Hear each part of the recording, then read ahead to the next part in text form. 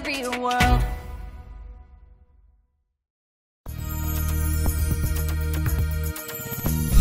Hi, I'm Kirsten. Welcome to Real World Science. Rocks are everywhere on Earth, and people have been using rocks to build things for thousands of years. The Egyptians used large rocks to make the pyramids. Stonehenge in England is made of giant-sized rocks. The Great Wall of China is made of rocks. The ancient Greeks made temples out of rocks. And for centuries, cultures throughout the world carved rock to make statues, monuments, and other works of art. Today, some of the tallest buildings in the world are made of rock. We know that rocks are everywhere, and we use rocks for lots of different things. But what are rocks? That's what this program is all about. What are rocks and minerals? Rocks are made of one or more minerals. Minerals are solid matter found in nature. Some minerals you may already know about. For example, salt is a mineral. In nature, salt looks like this. A diamond used to make jewelry is a mineral. This is what a diamond looks like in nature. Silver that is used in coins is also a mineral. This is what silver looks like just after it is taken from a silver mine. Gold found in gold chains or rings is a mineral. This is what gold looks like in nature. Minerals are the basic building blocks of the earth. Minerals are inorganic, which means they are not alive. They don't need air, water, or food. Minerals are found in the Earth's soil, rocks, and water. Scientists have identified over 3,000 different minerals, and as you can see, they come in all different colors, shapes, and sizes. If you visit caverns, you can actually see rocks being formed from minerals. As acidic rainwater finds its way underground, little by little, the mineral calcite is deposited by water dripping. This forms stalactites on the roof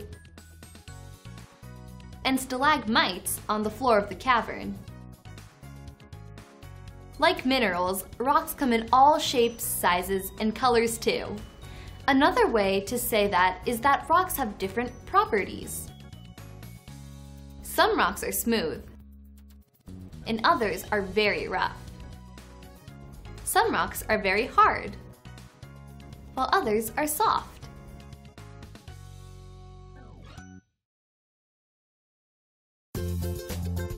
Layers of Earth Minerals are the basic building blocks of the Earth. So let's take a close-up look at the Earth.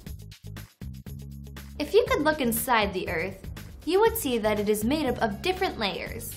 The top layer of the Earth is called the crust. The layer of rock just beneath the crust is called the mantle. Rocks found in the mantle are pressed tightly together and some are partly melted. The layer below the mantle is called the outer core. The outer core is liquid rock. And below the outer core is the inner core. The inner core is solid. Both the inner core and the outer core are extremely hot, and both are mostly made of iron.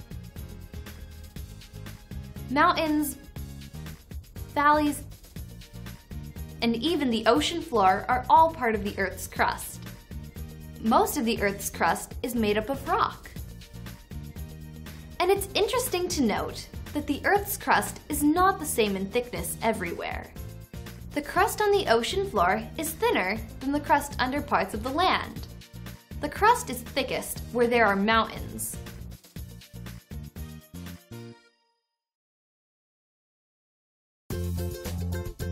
How rocks form.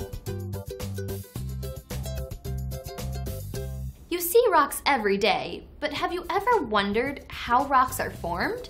There are three types of rocks, igneous rock, sedimentary rock, and metamorphic rock, and they are each formed in different ways. Let's see how igneous rock is formed. Igneous rock is formed from melted earth material called magma. Magma is a hot liquid that forms inside the earth. Sometimes magma flows onto the Earth's surface, usually from a volcanic eruption. When magma reaches the surface of the Earth, we call it lava. Igneous rock is formed from magma, or lava. Some examples of igneous rock are granite, rhyolite, obsidian, and scoria, better known as lava. The second kind of rock we're going to look at is called sedimentary rock. Sedimentary rocks are formed from sediments. Sediments are tiny pieces of Earth's material, such as mud, sand, and clay carried by wind or water. Over hundreds of thousands of years, the layers of sediment are pressed together to form rock. We call this type of rock sedimentary rock. Sedimentary rock is formed from compressed sediments. This picture shows different layers of sedimentary rock. Sometimes animals and plants may become covered with sediments and become fossils. Some sedimentary rocks contain fossils. Coal is a sedimentary rock that is made from plants that lived a long time ago. That's why coal is called a fossil fuel. The third kind of rock is called metamorphic rock. Metamorphic rock is rock that is changed by heat and pressure. For example, an igneous rock, like granite, can be changed to gneiss, a metamorphic rock. And a sedimentary rock, like limestone, changes through intense heat and pressure to form marble.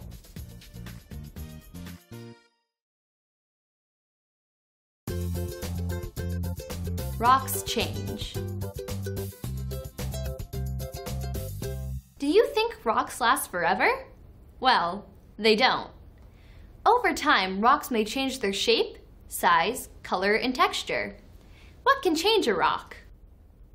Well, did you ever see a tree growing out of a solid rock? Plants can change rocks. Sometimes soil will get into cracks in rocks and plants will start to grow. The roots push against the rock, and if the plant grows large enough, it can break the rock. Some animals change rocks by digging tunnels in the ground. As they dig, they loosen rocks and soil, allowing air and water to move in. People change rocks too. People dig tunnels, build roads, and cut rocks to build buildings and statues too. People can change rocks very quickly using machines, but in nature, the changes happen so slowly we can't detect them. But over a long period of time, rocks break into smaller parts. That's why you see signs on some roads that warn about falling rocks.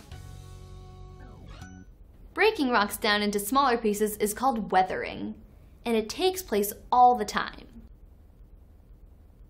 Weathering is caused by wind, ice, and water. Notice here where the water has worn away the rock.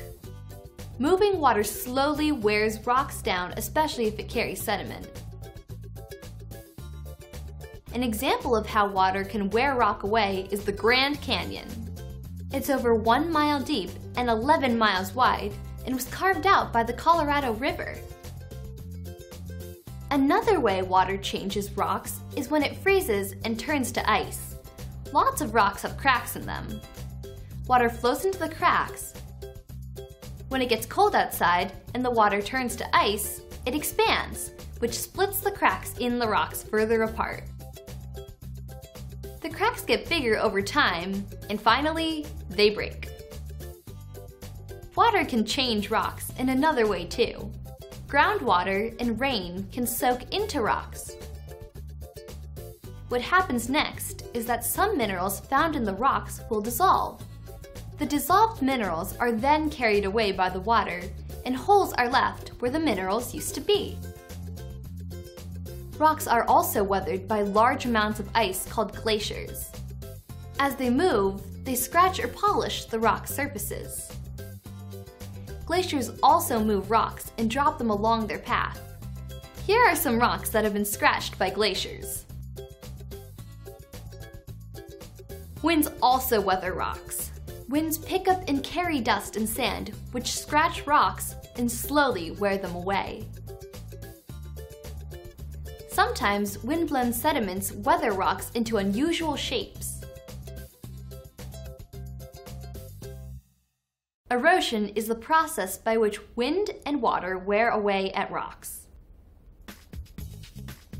When rocks are eroded, the final result is very small particles which we call soil.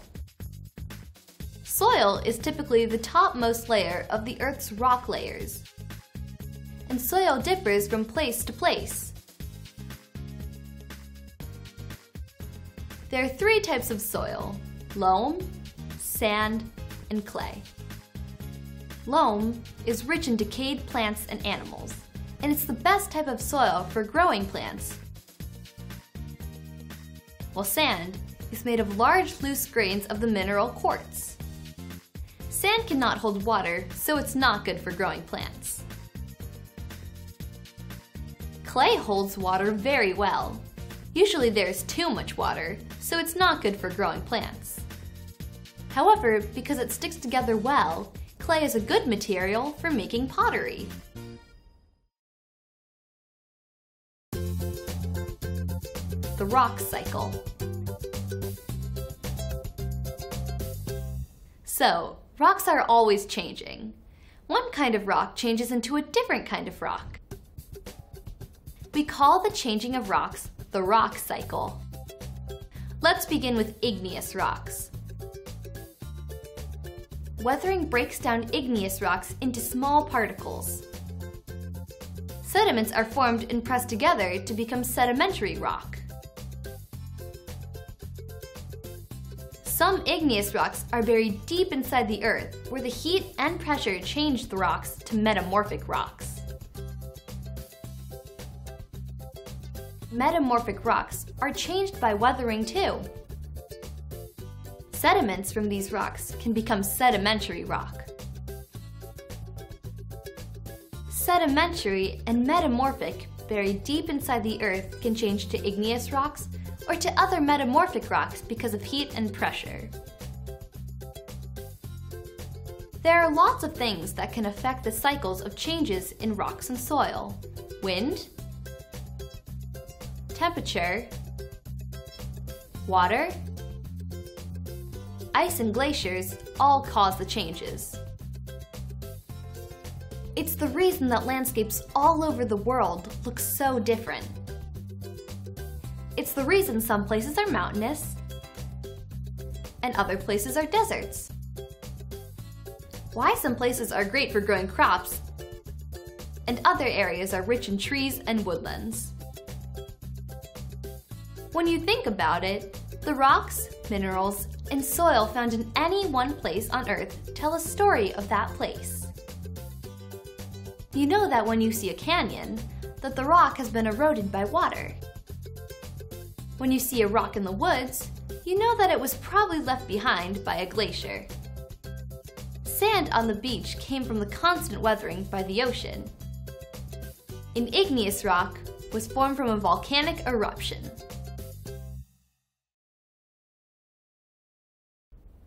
In this program, we learned that rocks are formed from minerals, the basic building blocks of the Earth. The rocks come in all shapes, sizes, and colors.